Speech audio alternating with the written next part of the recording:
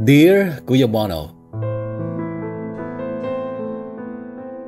Magandang oras sa lahat ng kahugot pagbate mula dito sa Georgetown. Isa akong OFW Kuya Bono. Parehong Malaysian ang mga amo ko at itong babae, buntis, 8 months. Kaya naka-maternity leave. Akala ko araw-araw kong ikakabad trip ang makasama siya whole day, pero hindi naman pala.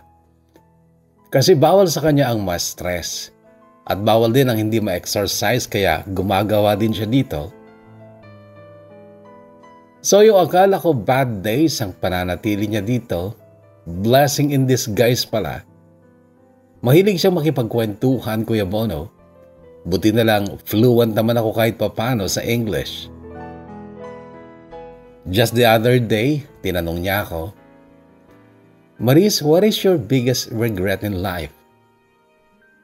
Sinagot ko naman siya Kuya Bono pero ang sagot ko ay shortcut lang ng isang mahabang kwento na siyang ibabahagi ko sa inyo.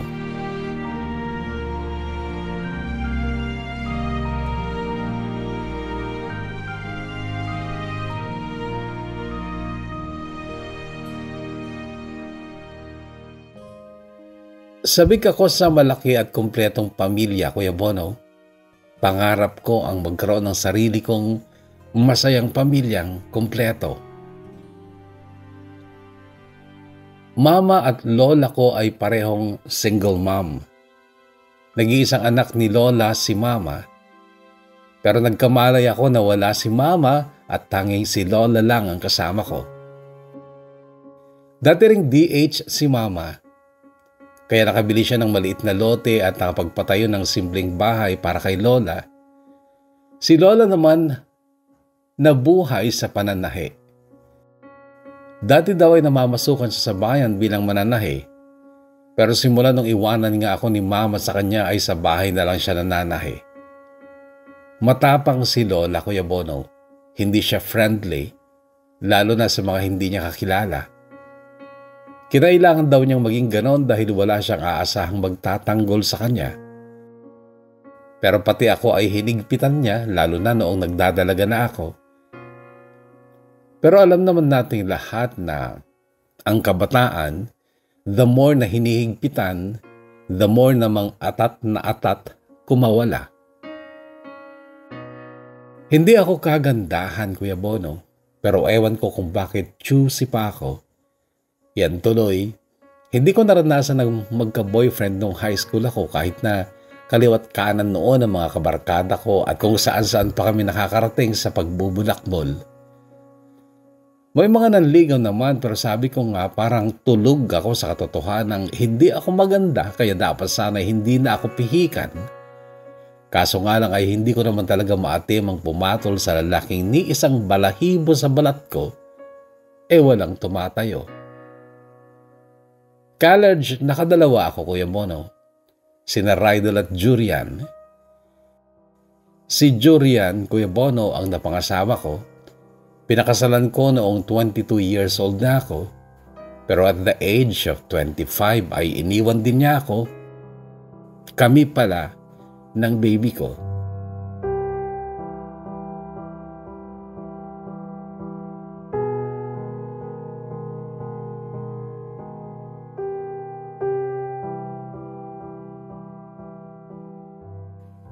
Dito na pumasok yung unang regret o pagsisisi ko Ilan sa mga kaibigan ng kaklase ko noong college ang nagsabing huwag kong patulan si Jurian kung ayaw kong magsisi sa huli.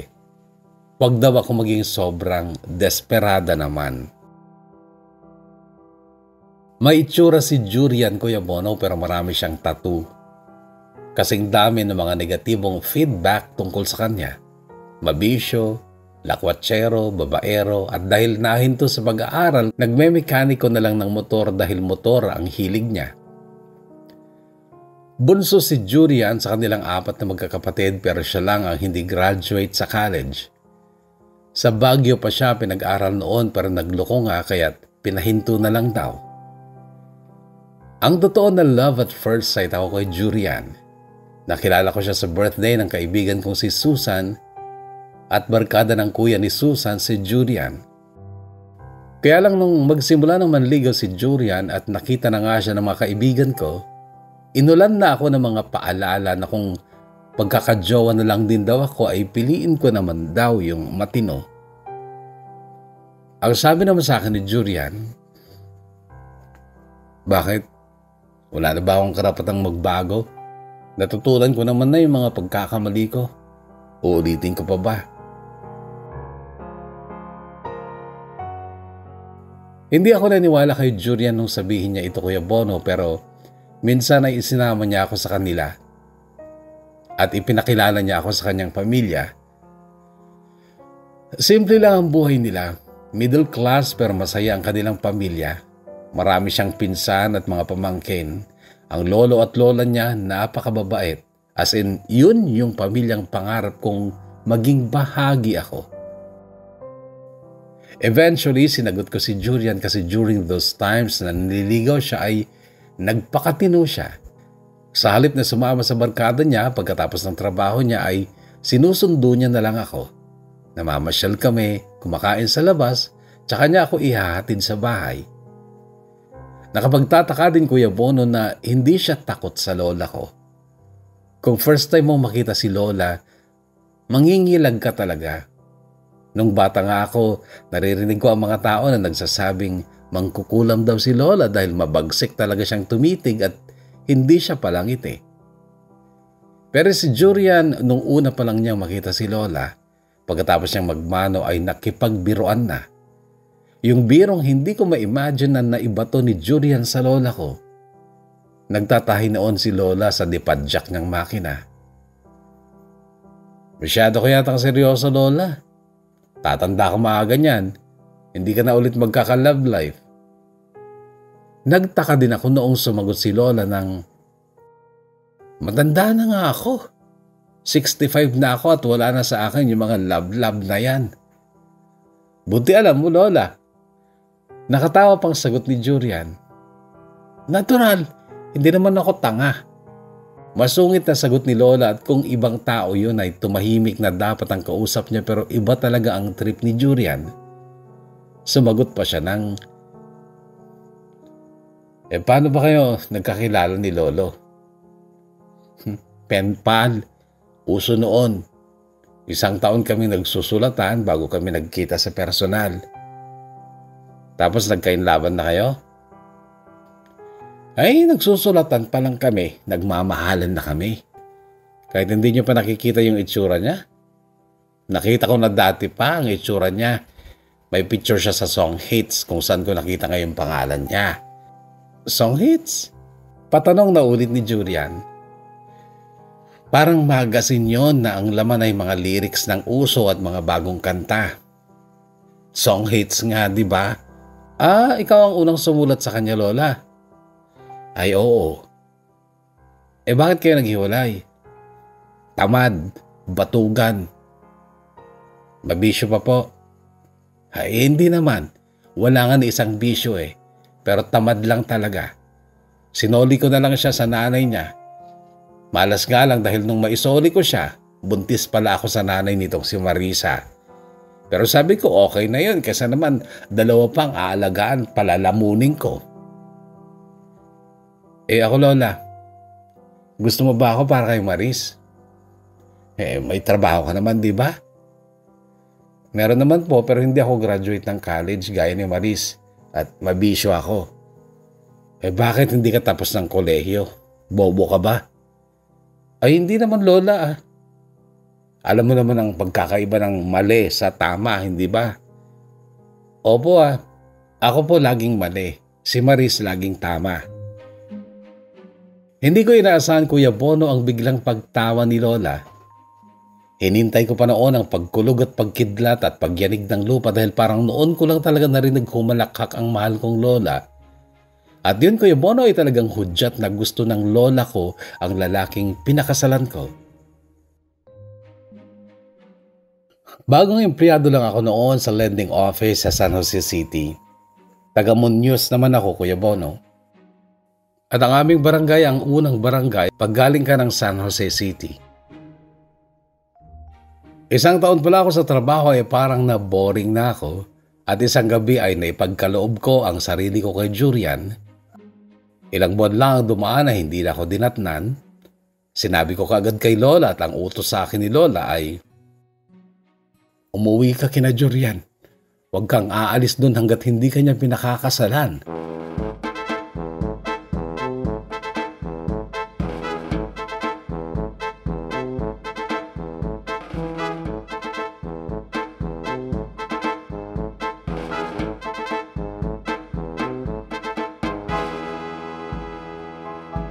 Binilin din ako ni Lola Kuya Bono na kahit anong mangyari, hindi ako hihiwalay kay Jurian. Alam daw ni Lola na susubukan ni Jurian ang katatagan ko. Kalkulado daw ni Lola ang pagkatao ni Jurian at hindi nagkamali si Lola Kuya Bono.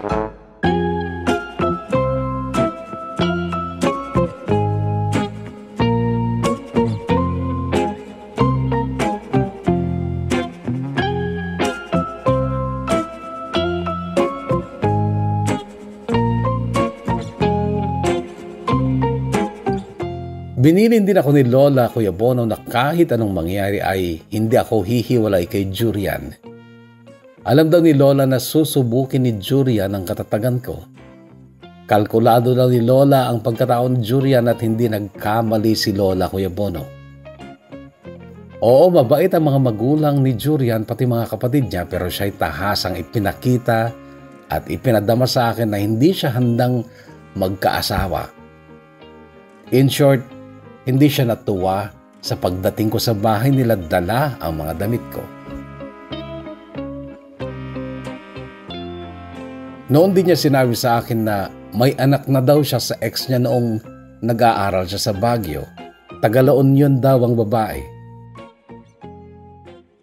Hindi ako naniwala, Kuya Bono, lalo na't hindi rin alam ni Mama LV ang tungkol doon. Si Mama LV ang nanay ni Jurian Si Papa Derio naman ang tatay niya. Inisip ko noon na dinidiscourage lang ako ni Jurian pero mahigpit ang kapit ko noon. Wala akong balak bumitaw sa kanya kahit ano pang gawin niya kasi buntis na nga ako. Tuloy ang pagbibisyo niya Kuya Bono maging sa pinagbabawal na gamot. Napakabait ni Papa Derio dahil kahit ilang beses pang masangkot sa gulo si Jurian, to the rescue pa rin siya sa kanyang bunsong anak. Si Julian din Kuya Bono ang kauna-unahang taong nanakit ng pisikalan sa akin. Hindi lang minsan kundi maraming beses at buntis pa ako noon. Hindi ko rin kasi kayang palagpasin na lang ang mga katarantaduhan niya lalo na kung tungkol sa ibang babae kaya inaaway ko siya. Yun lang kasi ang alam kong paraan ng paglalabas ng sama ng loob ko dahil wala nga sa option ko ang layasan siya. Pinagtatanggol ako lagi ng mga magulang at kapatid ni Jurian kapag nag-aaway kami at isang dahilan yon kung bakit alam kong hindi ako dapat umalis sa bahay nila. Awa ng Diyos Kuya Bono ay naglaylo si Jurian noong isilang ko ang anak namin, babae Kuya Bono at pinangalanan namin itong Juris. Pinagdugtong na pangalan namin ni Jurian at syempre pangalan din ng isa sa mga paborito kong singers –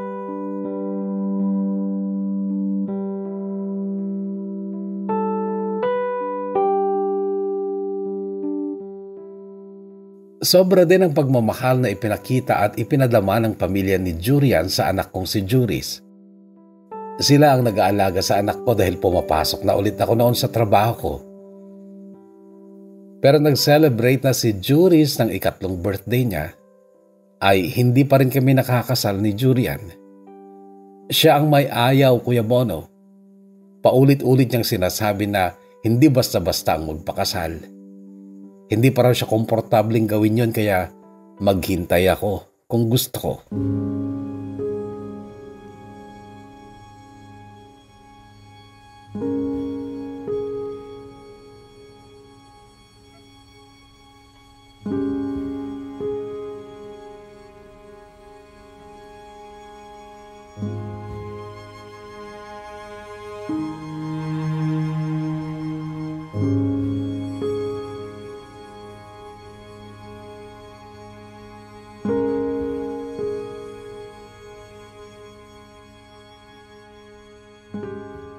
Hindi permanente ang trabaho ni Jurian Kuya Bono.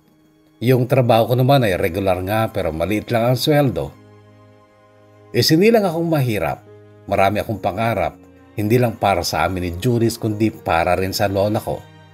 At tumatanda na rin ako kaya't naisipan kong iwanan ng trabaho ko at mag-apply sa ibang bansa. Apat na taon na kaming nagsasama ni Jurian noon Kuya Bono at sa totoo lang matapang na ako matatag na ang puso ko sa kahit anong posibilidad na maghiwalay kami ni Jurian. Ayoko nang umasa noon na pakakasalan pa niya ako. Panay ang pilit sa kanya ng mga magulang niya pero ayaw niya talaga. Napunta ako sa Qatar, Kuya Bono, office work. Natapos ko ang unang kontrata ko at nung umuwi ako ay nagpakasal na kami ni Jurian. Actually, isang taon pa lang ako sa Qatar ay sinabi na sa akin ni Jurian na pag-uwi ko ay magpapakasal na kami. Marami pa rin akong nababalitaan noon tungkol sa mga kagaguhan niya habang nasa Qatar ako pero sinanay ko na kasi ang sarili ko Kuya Bono. Naniwala ako na magbabago siya kapag sawa na siya kaya salit na i-stress ko ang sarili ko sa pag-iisip sa mga ginagawa niya, hinahayaan ko na lang Pero hindi ko rin itatanggi Kuya Bono na masyado ko siyang mahal at wala talaga sa bukabularyo ko ang tuluyang makipaghiwalay sa kanya. Naipaayos ko ang bahay ni Lola na naipatayo noon ng aking ina pero sa tagal kasi ng panahon ay marami ng sira. Napalagyan ko rin ng bakod at napagawan ng maliit na tailoring shop si Lola sa harapan ng bahay. Nakaipon pa ako kahit papano sa unang kontrata ko pero bago ako umuwi ay umirma ulit ako dahil pinayagan naman nila ako sa tatlong buwang bakasyong request ko. Kailangan kasing sa loob ng tatlong buwang yun Kuya Bono ay makasal kami ni Jurian at iyon naman Kuya Bono ay nangyari. Eh, hindi nga lang nakarating ang mama ko na talagang nakalublob na sa kanyang bagong pamilya sa Katanduanes. Pagkatapos ng kasal namin ni Jurian Kuya Bono ay tiwala akong bumalik ng Doha, Qatar. Dahil ramdam kong lalo ko pang napagtibay ang aming relasyon. Relasyong alam kong maraming flaws, maraming butas pero at least legal na may papel ng pinagtibay ng batas. Pero baliwala din pala ang marriage contract Kuya Bono kung talagang porsigido ang isa na baliwalain ito. Isang taon at tatlong buwan pa lang ako sa pangalawang kontrata ko ay ibinalita sa akin ni Ate Lilian, panganay kong hipag na wala na daw si Jurian sa bansa. Sinundo daw ito ng girlfriend niyang Australiana.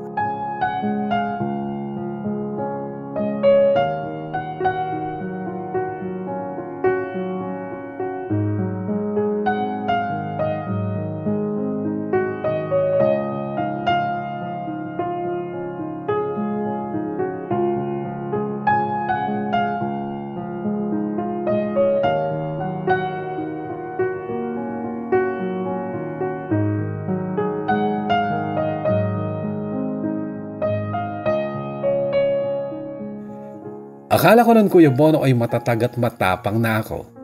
Hindi pa pala dahil lubha akong naapektuhan sa ginawa ni Jurian. Gustong gusto kong umuwi noon pero pinayuhan ako ng mga ate ni Jurian na tapusin ko na lang ang kontrata ko dahil wala din naman daw ako magagawa kasi nga nasa Australia na si Jurian. Tiniis ko na lang Kuya Bono lahat ng sakit at pilit kong tinatanggap na wala na nga sa buhay ko ang lalaking mahal ko.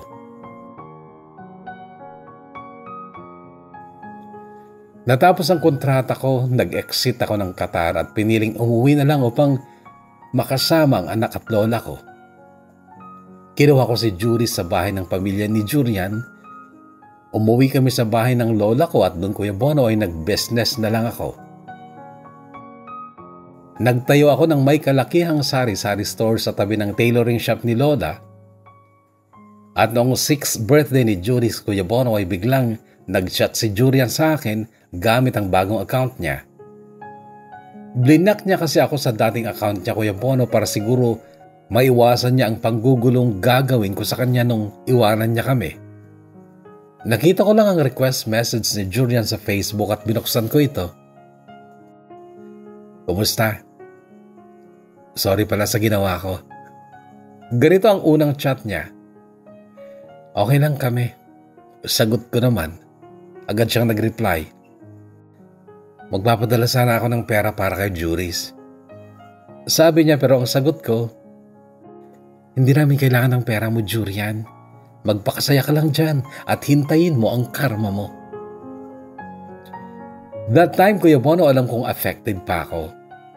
Masakit pa dahil mahal ko pa siya. May naniligo sa akin noon. Nakilala ko siya sa Facebook nung nasa Qatar pa ako. Ginagamit ko kasi noon yung singing app na Star Maker at doon niya nakita ang profile ko. Siya si Daniel ng San Marcelino, Zambales. Pero that time ay nasa Saudi siya. Guwapo at maputi si Daniel Kuya Bono at single dad siya. Hindi siya kasal sa nanay ng anak niya. Babae din ang anak niya na noon ay inaalagaan ng mama niya. Nag-asawa na raw kasi ng iba ang dating girlfriend niya, nanay ng anak niya, at hindi tanggap ng bago nitong partner ang bata kaya iniwan ito sa mama ni Daniel. Sa kagagahan ko Kuya Bono dahil nga friends na ulit kami ni Julian noon sa Facebook ay nagpo-post ako ng tungkol kay Daniel. Kapag nagbe-video call kami ni Daniel, ini-screenshot ko tsaka ako pinopost. Pero nakakadama pa ako ng inis kapag pinupusuan pa kasi ni Julia ng post ko.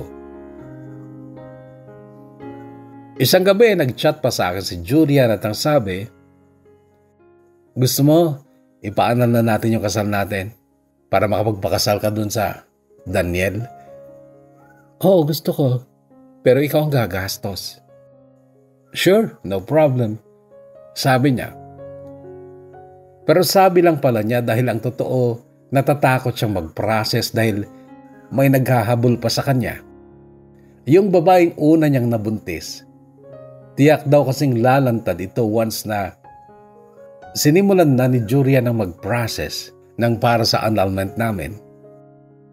Sa totoo lang Kuya Bono ay hindi ko nakikita noon na mahalaga ang maanal ang kasal namin Kumbaga joke ko lang noon yung sabihin kong pumapayag na ako sa annulment pero ang totoo, ayokong magsayang ng oras para doon kasi busy ako. Liban kasi sa mini grocery store ko ay nag-online selling din ako ng kung ano-anong produkto. Pero kapag free ako Kuya Bono ay sinasagot ko ang mga chat ni Jurian. May isang gabi pang hindi ako makatulog ay napatagal ang pag-chat-chat namin at napag-usapan namin ang tungkol sa panganay niyang anak sa babaeng una niyang nabuntis. Taga Nagilian Laon yun daw ang babae. Tinanong ko pa ang kompletong pangalan at nung gabing yun ay nahanap ko ang Facebook ni Clarissa. Hindi niya tunay na pangalan. At yung Facebook niya ay halata ding parang hindi na-update at kung konti lang din ang mga blurred pang pictures na halatang kinuhanan sa cellphone na low quality ang camera. Gayon pa man ay banag kung maganda si Clarissa malayong mas maganda kaysa sa akin kasi nga hindi talaga ako maganda. Nag-chat pa ako kay Clarissa Kuya Bono. Wala lang, kahit hindi naman ako umaasang sasagutin niya ang chat ko kasi feeling ko talaga ay inactive na yung Facebook account niyang yon. Huling post kasi niya ay mahigit isang taon na ang nakararaan. Pero after 3 months, Kuya Bono ay nag-reply si Clarissa Sinabi niyang hindi daw siya lagi nakakapag-Facebook at kung may mahalaga daw akong kailangan sa kanya ay tawagan ko na lang siya sa cellphone number na ibinigay niya sa chat. Wala naman talaga akong kailangan sa kanya Kuya Bono kaya't hindi ko siya tinext o tinawagan. Kaya lang nung Pasko ng 2018, dumalaw kami ni Jury sa pamilya ni Jurian at doon ay nabanggit ko kay Mama LV ang tungkol sa babaeng unang nabuntis ni Jurian. Hindi makapaniwala si Mama Elvin noon at siya ang tumawag kay Clarissa gamit ang number ko.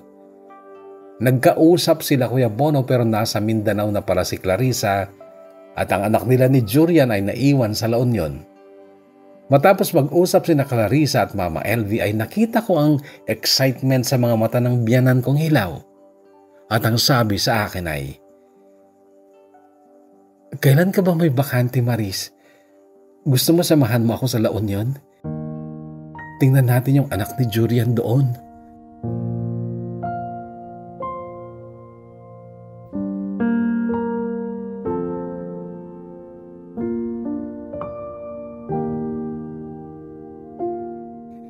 February 12, 2019, nung magpunta kami ng La Union, Kuya Bono, apat kami. Kasama din si Papa Derio at anak kong si Juris. Natuntun namin ang kinaroroonan ni Cairo, anak ni na Clarissa at Julian, sa isang liblib na barangay ng Burgos, La Union. Nasa pangangalaga ito ng nag-iisa at natatandang kaparid ni Clarissa na si Ray. Guwapong bata si Cairo. Noon ay siyam na taong gulang na siya. Maliit pero maganda ang bahay nila ni Ray dahil nakikisaka lang daw si Ray sa bukid ng amo niya.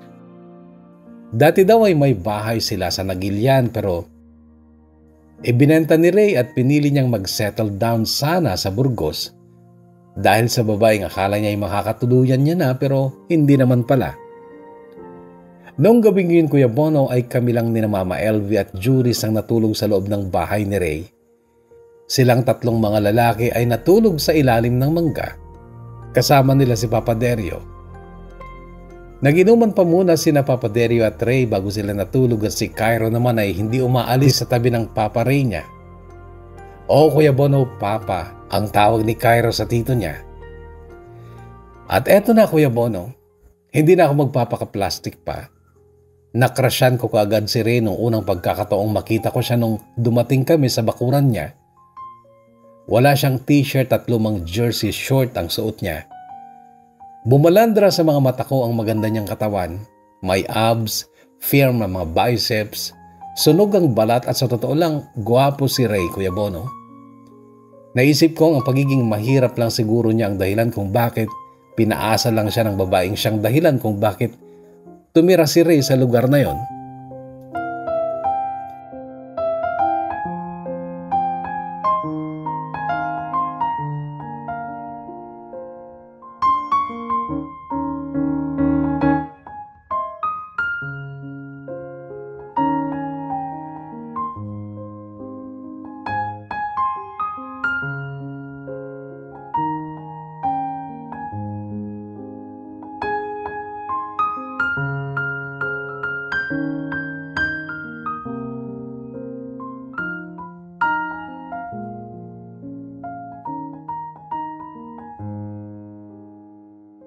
Tatlong araw kami doon Kuya Bono dahil ang pakay talaga ni na Mama Elvie at Papa Derio ay mailapit ang loob nila kay Cairo. Pero nagbago ang pananaw at pakiramdam ng mag-asawa. Halos pabulong lang nung sabihin sa akin ni Mama Elvie ang ganito. Hindi naman yata anak ni Julian yung bata. Sa totoo lang Kuya Bono, kung gaano siguro kakabisado ni Mama LV ang itsura at figura ng anak niyang si Jurian, ganon din ako. At wala nga kaming makitang kahit maliit lang na bahagi ng katawan ng bata na kawangis ni Jurian. Pati ugali, mannerisms, kilos, pananalita o boses, wala. Hanggang sa naisip pa ni Mama Elvie na siguro nga daw ay nagbuntis si Clarissa noong sila pa ni Jurian pero Baka naman daw may ibang boyfriend o kalaro si Clarissa noon. Dahil doon Kuya Bono ay chinat ni Mama Elvis si Jurian at tinanong kung siya ang nakauna kay Clarissa. Nagulat si Jurian noon dahil hindi niya alam na nasa Burgos kami. Hindi na. Iyon ang sagot ni Jurian sa tanong ng mama niya na kung siya daw ang nakauna kay Clarissa. Pagkatapos ng Kuya Bor ay tumawag siya sa video call at hiniling na makita si Cairo. Napilit naman ni Ray ang pamangkin niyang napakamahihain. Humarap nga sa cellphone noon si Cairo. Saglit lang ang video call na yon. Nairita ako ng sobra sa mukha ni Julian dahil talagang tinitigan lang niya yung bata. Ni hindi niya kinausap at pagkatapos noon ang sabi niya sa mama niya ay, Hmm, ewan ko, hindi ko sigurado.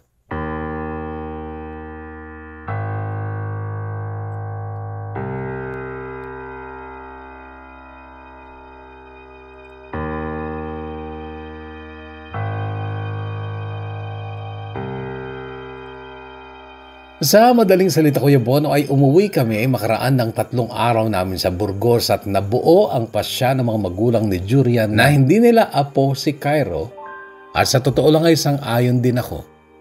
Hindi pwedeng maging anak ni Jurian ang ganong kabait na bata.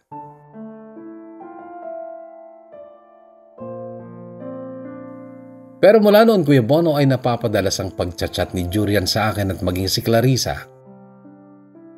Isang gabi ay sinabi sa akin ni Clarissa na nag-chat daw sa kanya si Jurian at sinabing namimiss siya nito. Parang kinurot ng konti ang puso ko noon Kuya Bono. Pero agad ding sinabi ni Clarissa na hindi niya na nireplyan si Jurian at blinak niya ito dahil baka daw makita ng asawa niya ang conversation nila sa messenger. Muslim ang napakasawa ni Clarissa at sa edad niyang 23 noon ay apat na ang anak niya, panglima si Cairo.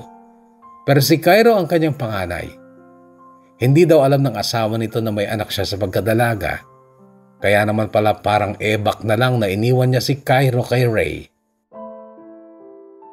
Nawaglit din sa isipan ko si Ray Kuya Bono makaraan ng ilang buwan dahil Aktibo pa naman si Daniel noon sa pagchat-chat sa akin kasama ang kanyang mga plano at pangako na pag uwi niya ay pupuntahan niya ako. Lahat pala ng mga iyon ay pangarap lang dahil ang totoo ay TNT pala siya sa Saudi. Wala siyang ikama at pag-aayos ng cellphone ng trabaho niya sa isang shop na kolorum din. Si Daniel ang nagsabing magmahal na lang daw ako ng iba dahil hindi niya alam kung kailan siya makakauwi ng buhay. Disappointed ako kasi naun siya may ang mga pinatulan ko ng mga plano ni Daniel noon. Nilimot ko na lang siya dahil yun din ang utos niya at noon ay muli kong naalala si Ray. Oo, Kuya Bono, nagkagusto ako ng palihim kay Ray. Pero hindi naman na kami nagkita ulit. Mayroon siyang cellphone pero dipindot naman kahit imposible ka ako na magkaroon siya ng Facebook account. Kaya lang tuwing maalala ko silang magtito, napapahanga ako sa kanila. Napapahanga na nahahabag dahil parang nakikita ko rin ang sarili ko noon sa bata na si Cairo noong bata ako na kami lang din ng lola ko ang magkasama. Sa mura kong isipan ay naiisip ko na hindi patas ang mundo.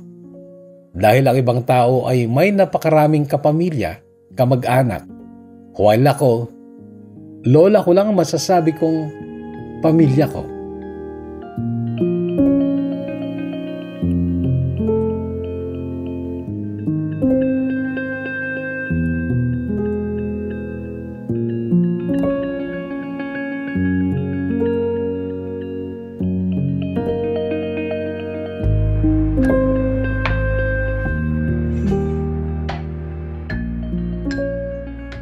August 19, 2019 ay birthday ko, Kuya Bono. May konting handa para sa ilang kaibigan at mga ka-close na kapitbahay. Katatapos lang naming mag-pray nang mag-ring ang cellphone ko. Bagong number ang tumatawag at nung panahong yon ay hindi na pangkaraniwan ang call sa cellphone dahil madalas ay sa messenger na talaga ang chat at tawagan. Sinagot ko pa rin. Hello? Kahit tagal bago siya nagsalita, boses ng lalaki ang nag-hello din. Sino ka? Tanong ko. Si Reynante ito. Reynante? Ah, si Ray. Si Ray ito. Uncle ni Cairo.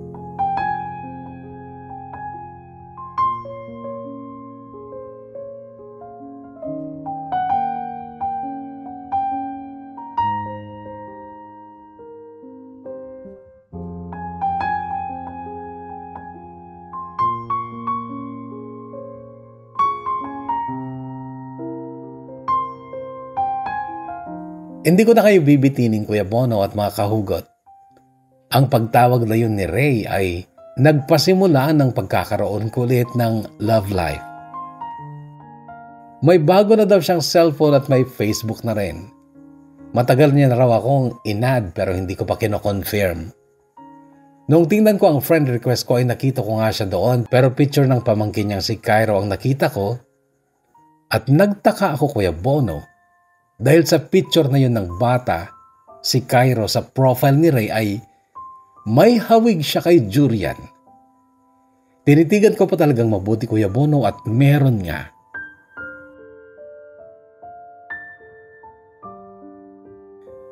Sa pagchat-chat namin ni Ray ay naglakas loob siyang aminin sa akin na nagustuhan daw niya ako nung una pa lang niya akong makita. Ang sabi ko naman, parang mali yata ang kalkula ko sa iyo ah. Akala ko simple ka lang pero bolero ka rin pala. Hindi kita binobola, Miss Maris. Ay, tanggalin mo na nga yung miss na yan. Alam mo namang may anak na ako at kasal ako sa tatay ng anak ko. Pero hiwalay kayo, di ba? Oo, pero hindi pa legal. Pero may asawa na siyang iba, di ba? Oo, Australianang mataba.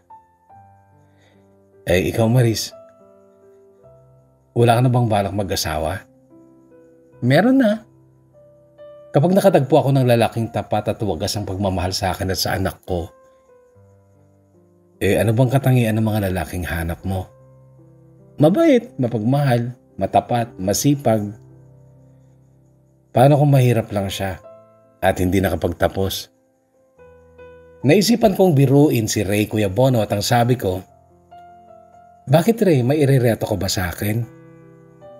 Oo, meron sana eh. Reply niya at kinutuban ako dahil parang irereto nga niya ako sa iba. Sino yun Ray? Tanong ko at ang reply niya ay, Ako,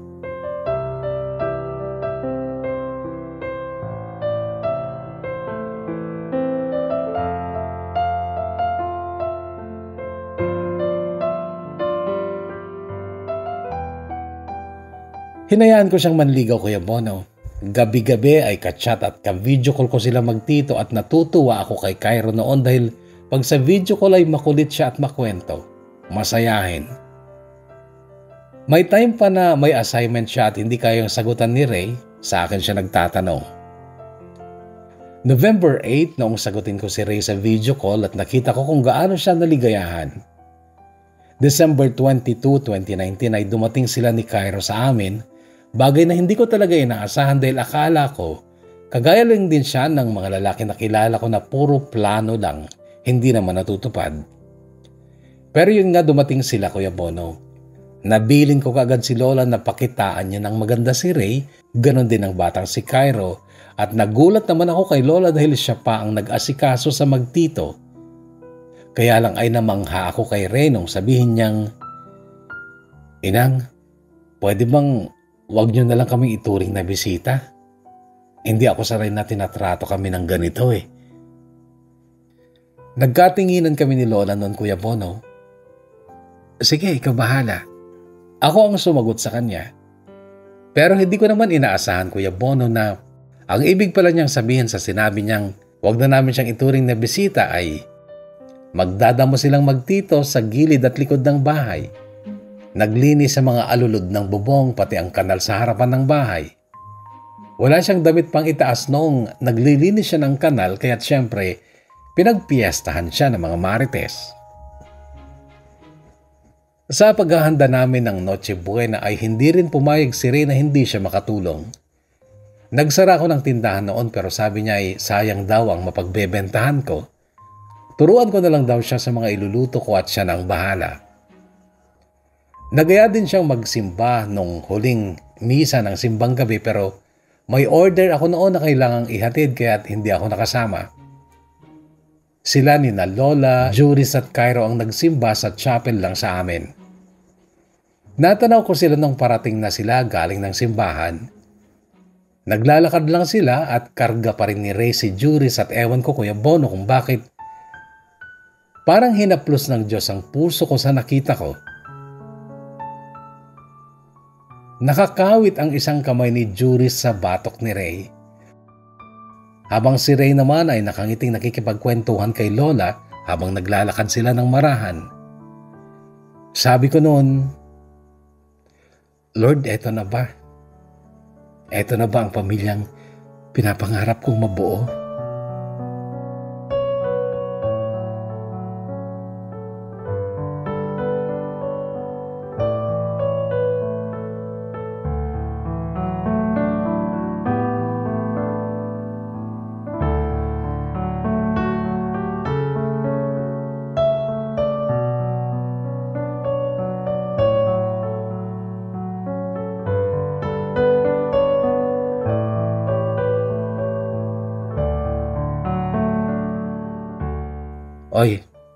Kailan masisimula ng pagpapaanal sa kasal natin? Ganito ang chat ko kay Jurian. Pag-uwi namin sa February. Simpleng sagot niya. Okay, yan man lang ang magawa mong maayos para sa amin ni Juris. Sagot ko. Bakit? Magpapakasal na rin kayo ni Daniel?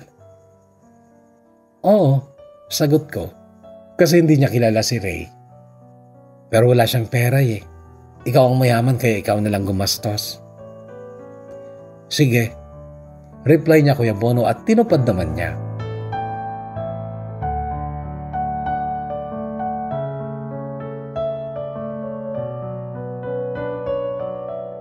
Nagkita nga kami nang umuwi sila ng matabang Australiana. Nag-attend kaming dalawa sa opisina ng abogado, nakapag-file kami. Kaya lang ay bumalik sila ng Australia buwan ng Mayo kaya naisip ko na madedelay pa yung annulment talaga. O Kuya Bono, atat akong maging malaya legally kay Jurian dahil mahal na mahal na namin ni Ray ang isa't isa. May nangyari sa amin noong December 27, 2019 at ako ang umakit sa kanya. Sorry pero natigang lang talaga ako noon.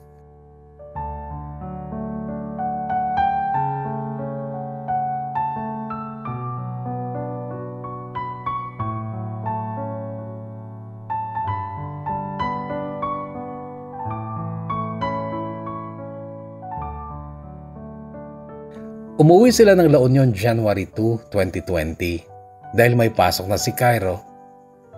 Grabe ang iyak ni Juris noon. Inihila niya ang damit ni Cairo nung lalabas na sila ng pinto. Huwag mo akong iwan kuya Cairo. Paulit-ulit niyang sigaw habang umiiyak magkahalo ang luha at sipon. Naging napakabait kasi ni Cairo sa anak ko Kuya Bono. Si Juris ang talagang anak ni Jurian dahil nasa kanya ang mga kakulitan, kaswapangan, pagkapasaway pero napakapasensyoso naman ni Cairo sa kanya. Ray, bumalik kayo dito ha. Malambing namang sabi ni Lola kay Ray. Sa akin tumingin si Ray noon at ang sabi, Pag-usapan namin ni Maris yan, Lola.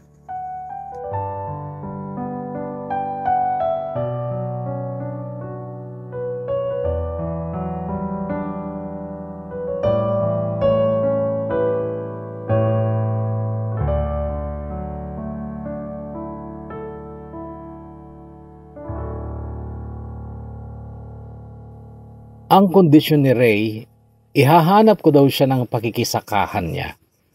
Ayaw daw niyang nakatenga o mga gawaing bahay ang araw-araw na gagawin niya. Biniro ko pa siya Kuya Bono, sabi ko siya na lang ang tatao sa tindahan ko. Lalong ayaw daw niya dahil ayaw niyang ma-expose sa barangay. Ang problema wala naman akong kakilala na naghahanap ng makakasama sa bukid kaya't nabuo ko ang isang plano na dapat magkaroon na lang kami ng sarili naming bukid. May ipon pa ako noon Kuya Bono, mahigit dalawang daang libong piso. Malaking bahagi noon ay pinang-down ko sa isang ektaryang bukid na nasa dulong bahagi ng barangay lang din. Ibinigay naman sa amin yung bukid kahit hindi pa fully paid kaya iniwan na ni Ray at Cairo ang La Union at sa amin nasa Nueva Ecija sila tumira at kami nga Kuya Bono ay nagsama na bilang mag-asawa. Hindi man legal at marami pa rin sumisit-sit na mga chismosa pero wapakels na lang ako.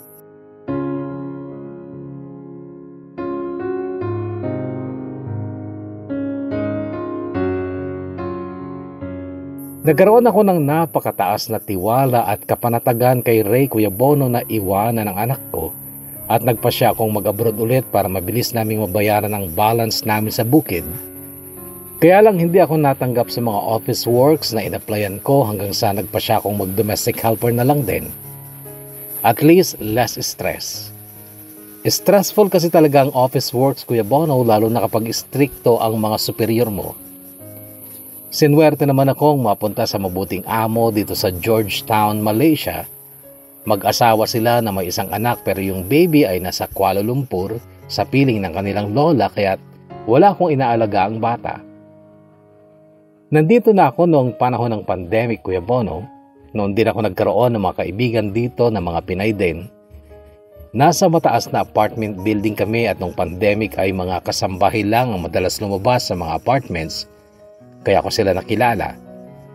Naging best friends ko pa si Ana at Lydia na pareho ding taga Talavera. Bale magkadikit lang ang aming mga bayan. January 2023 noong sabay-sabay kaming umuwi para magbakasyon. Nakisakay lang kami ni Ana noon sa van ni na Ate Lydia na siyang sumalubong sa kanya sa airport. Sa highway sa Talavera kami bumaba ni Ana at doon ay naghihintay na sa akin si Ray na nakakolong-kolong. Tawa ako ng tawa Kuya Bono dahil doon pala niya ako sasakay sa kolong-kolong niya. Ipanakilala ko siya kina Ate Lydia at Ana at ma'am ang tawag niya sa mga kaibigan ko. Kuya Bono, si Ray ay maituturing kong biyaya ng Diyos sa akin. Sobrang kabaliktaran siya ni Jurian. Wala akong masasabing negatibo sa kanya. Nasa kanya lahat ng katangian ng isang lalaking dapat ipagpasalamat at ipagyabang ng isang babae. Kaya naman, pinakamamahal ko siya. Kahit na hindi pa kami kasal dahil Matagal pa daw bago makauwi ulit si na Jurian upang ipagpatuloy ang pagpapaanal sa aming kasal. Masakit din sa dibdib na muli ko silang iniwan noon pero kinailangan kong bumalik ulit dito para madagdagan ang aming ipon para sa kinabukasan ng mga bata. O Kuya Bono, anak na rin ang turing ko kay Cairo dahil kapatid ang turing niya sa anak kong si Juris. At wala na akong pake kung totoo silang magkapatid sa ama o hindi. Basta't proud ako dahil walang ugali si Jurian ang nakikita ko kay Cairo dahil siya'y napakabait at napakasipag na bata. Pati si Lola, mahal na mahal niya si Cairo at tunay na apo rin ang turing niya dito. December 2024 matatapos ang kontrata ko Kuya Bono at hindi na ako babalik. Bubuksan ko na lang ulit ang tindahan ko at papalakihin ko pa at tingin ko'y sapat na yun upang makapamuhay kami ng masaya at disente. Oo, may mga regrets ako sa buhay, sabi ko sa amo ko. Pero nakalimutan ko ng lahat yon at mas nananaig sa akin ang saya at pasasalamat dahil ibinigay sa akin ni Lord ang kagaya ni Ray at isa pang batang lalaking itinuturing kong anak, si Cairo, na siyang mga tumupad sa pangarap kong masaya at kumpletong pamilya. Hanggang dito na lang Kuya Bono at maraming salamat din kung mababasa mo rin itong simpleng kwento ko. May God bless us all. Nagmamahal, Maris.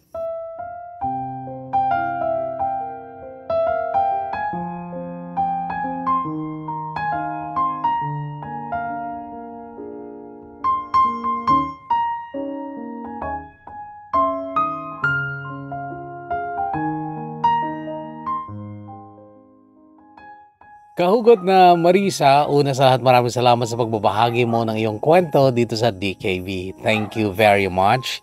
Napakaganda, it's uh, practical sapagkat nakita ko yung katatagan mo bilang babae kasi kahit mahal na mahal mo talaga ang isang lalaki, kung talagang naisip mong hopeless na kailangan mo nang pilitin yung sarili mong kalimutan, mag-let go, at humanap ng iba, Good thing is merong nakaprepare talaga si Lord para sa iyo at hindi mo siya hinanap. Kundi napakaganda pa nga nung kwento kung paano kayo nagkita. Ha? Dahil kay Cairo.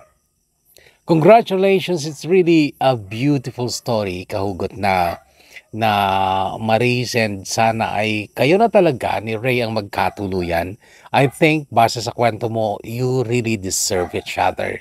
And I do hope that our Lord God will bless you sa inyong pagsasama. Again, maraming maraming salamat Maris. Good luck. God bless. At sa ating mga shoutout, Rahima Sanday Budi, Assalamualaikum, Kuya Bono, keep on going. We are still here to support you. Belated happy um, Idil Fitir sa mga kapatid kong Muslim. Support you always, Kuya Bono, no skip ads. Maraming salamat, Rahima. Moises de la Cruz, shout out to birthday ko last April 8. Sana mabati mo ako. Belated happy birthday, Moises. Irene Mapusaw, shout out to you. Ganun din kay Crystal Calabiao, si Baluka. Jocelyn Pasqua, shoutout to you. Ganun din kay Susan Aquino Galiebo Viernes. And um, Yan ng Etasem. Hi Kuya Bono. Uh, good morning. Always a bangers here in Hong Kong from Malig Isabella. Um, yeah.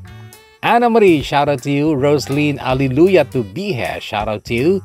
Lynn Antonio Tolosa, blessed uh, day. Pa shout out po, our listeners here in Hong Kong. Thank you, Lynn Antonio. Antonio, Fede Vendiza, shout out to you. Ganun din kay Jupiter Ramon. Um, DC Manawit, good uh, day. Pasyarat po sa lahat ng taga Baguio City and also to my family Manawit, Antonio, Balaso, and Bayayan. And Bueno Guerrero Joan, pasyarat din po sa listener po ako since CLS, DKB at Kahugot at SIT po. Nakafollow ako sa lahat ng age po sa YouTube.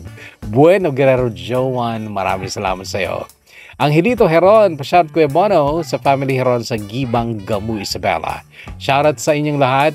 Iyang Yang, hello kay Bono, pasyarat naman. No problem, Iyang Yang, shoutout to you. Anne Marie, God bless you too. Angela Ligayo, pa-shoutout from Bagao. Thank you so much. Bobs Baniaga, um, advance, may papakinggan na rin ako, avid listener here in KSA. Stay safe and God bless. Same to you, Bobs Baniaga. Anne Ignacio, shoutout to you. Jacqueline Santos, pa-shoutout ko yung sa lahat ng mga adik na uh, listener, lalo na sa mga BSIT ama Hong Kong, sana araw-araw ka na po mag-upload Kuya Bono. Mahirap kasing gawin yon. Uh, kasi ni-edit pa yung kwento, inaayos pa talaga. Matrabaho ang ang pag-upload uh, bawat kwento. Um, uh, Kriel, Shoutout po sa family ko sa Lasam Cagayan na sila Papa Emmy at mga kapatid ko si Mea at Camila at sa mother ko na nasa Solana, Mama Nalin, ingat ka palagi. I miss you all. Thank you, Criel. Ernalyn Ballesteros Soriano, shout out to you. Ganun din kay DJ Torwelli Kigan. Pasyado ko po sa apo ko na si Bryle Javen Pacnis. Mon Joyce Balanza, shout out to you. Carla Ligado Durupan Mundo. Pa-shoutout po. Uh, listening here in Saudi Arabia from Tabuk, Kalinga. Salamat kuya. God bless. Ingat ka din lagi, Carla. Cherisa Mateo Kafugawan. Pa-shoutout naman po kami dito sa Tuaw kay Ate Cheryl, Mami Janet at yung Afong. God bless you too, Cherisa Mateo Kafugawan. Aldrin Panuncio Astera, uh, maraming salamat and shout out to you. Kyrie Pilmac, pa-shoutout ko Bono from Rojas Isabela at sa lahat ng OFW sa Hong Kong. Sulit pa lalo bakasyon ko kasi tuloy-tuloy na pakikinig ko sa mga stories na binabasa mo. Thank you so much, Kyrie Pilmac. Maraming salamat. Mylene, shout out always. I think it's uh, she's from Hong Kong. Nasa lahat, Mylene, matagal na rin kahugot ito. Ash Kabasi, hello kay Mono, pa-shoutout po from Ilagan. Lagi nag-aabang sa mga bagong kwento nyo. Maraming salamat po. God bless you always too. Giselle Tomas Bumanlag. Shout out, Eid Mubarak po sa, ating, uh, sa ating mga kapatid na Muslim. Thank you and God bless po. Giselle Tomas Bumanlag.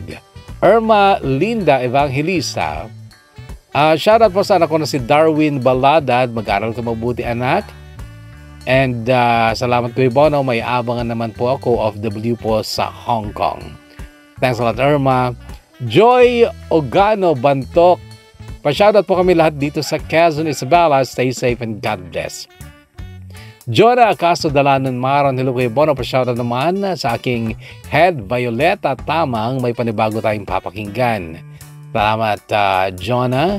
Ani Solano Tobias, Uh, pa-shoutout ko Bono from Hong Kong, taga Tagum, Davao del Norte po. Maraming salamat, Annie.